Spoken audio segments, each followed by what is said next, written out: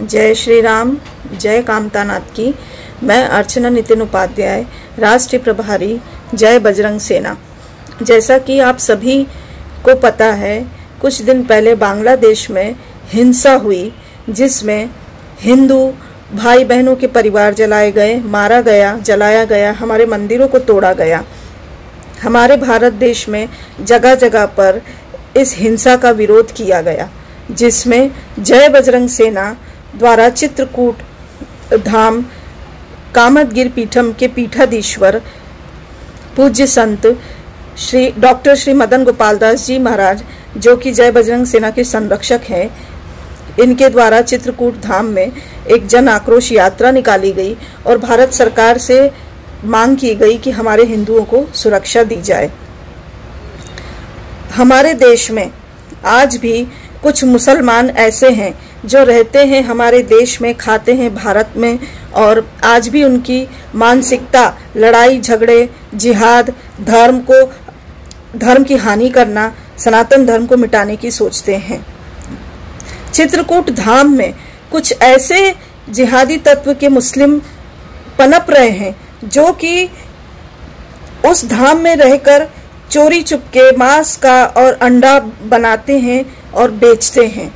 हमारे संरक्षक पूज्य महाराज जी ने उनको मना करना चाहा, हमारा संगठन जय बजरंग सेना, इसका विरोध करता है और हमारे महाराज जी ने उनको मना किया। तो उन्होंने मीटिंग बुलाई, सभी मुसलमानों ने मिलकर जो ये गलत काम करते हैं, हमारे धर्म को बदनाम करने के लिए, हमारा धर्म को दूषित करने के लिए जो चोरी चुपके ये काम करते हैं, उन्होंने मीटिंग बुलाकर हमारे पूज्य महाराज जी को धमकी दी, जान से मारने की धमकी दी और कामतगिर पीठ की परिक्रमा करने के लिए रोका। हमारे महाराज जी के साथ उन्होंने अभद्रता की, उन्होंने उल्टी सीधी गाली दी और उनको परिक्रमा करने के लिए रोका। तो मैं, मैंने चित्रकूट में पुलिस अधीक्षक जी से बात की इस विषय में लेकर कि मैं इस संगठन की प्रभारी हूँ और हमारे संरक्षक जी के लिए इस तरह की वहाँ पर योजना चल रही है और उन्हें धमकी दी जा रही है। तो उन्होंने कहा, मध्य प्रदेश ये मामला चित्रकूट, एम, यूपी का नहीं है, आप मध्य प्रदेश में बात कीजिए। मैंने मध्य प्रदेश पुलिस अधीक्षक जी से बात की, उन्होंने भी पल्ला झाड़ लिया। तो आज चित्रकूट की, मैं जानना चाहती हूँ कि चित्रकूट की सुरक्षा किस राज्य के हाथ में है? मध्य प्रदेश के या उत्तर प्रदेश के?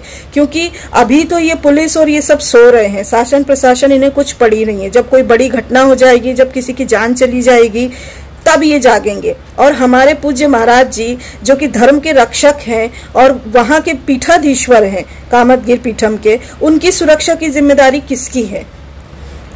आज उन्हें जान से मारने की धमकी दी जा रही है। उन्हें परिक्रमा करने के लिए रोका जा रहा है। कल को ये आगे बढ़कर हम लोगों को वहाँ नहीं आने देंगे। तो ये इस ये इस, ये किसकी ज़िम्मेदारी है कि इसे रोका जाए? और ये जो जिहादी मानसिकता के लोग हैं जो ये हमारे धर्म को नष्ट करने के लिए दिन रात घूमते हैं इनके ऊपर एक्शन कब लिया जाएगा? तो मैं प्रार्थना करती हूँ और मांग करती हूँ कि आप कृपया करके इस मामले को संज्ञान में लें और जल्द से जल्द ऐसी जिहादी मानसिकता के लोगों को कार्रवाई की जाए इनके ऊपर और हमारे महाराज जी को सुरक्षा दी जाए। जय श्री राम। जय हिंदू राष्ट्र। साथियों, मैं ऋषि कुमार त्रिवेदी, अखिल भारत हिंदू महासभा का उत्तर प्रदेश का प्रदेश अध्यक्ष हूँ, एवं जय बजरंग सेना का राष्ट्रीय संगठन मंत्री।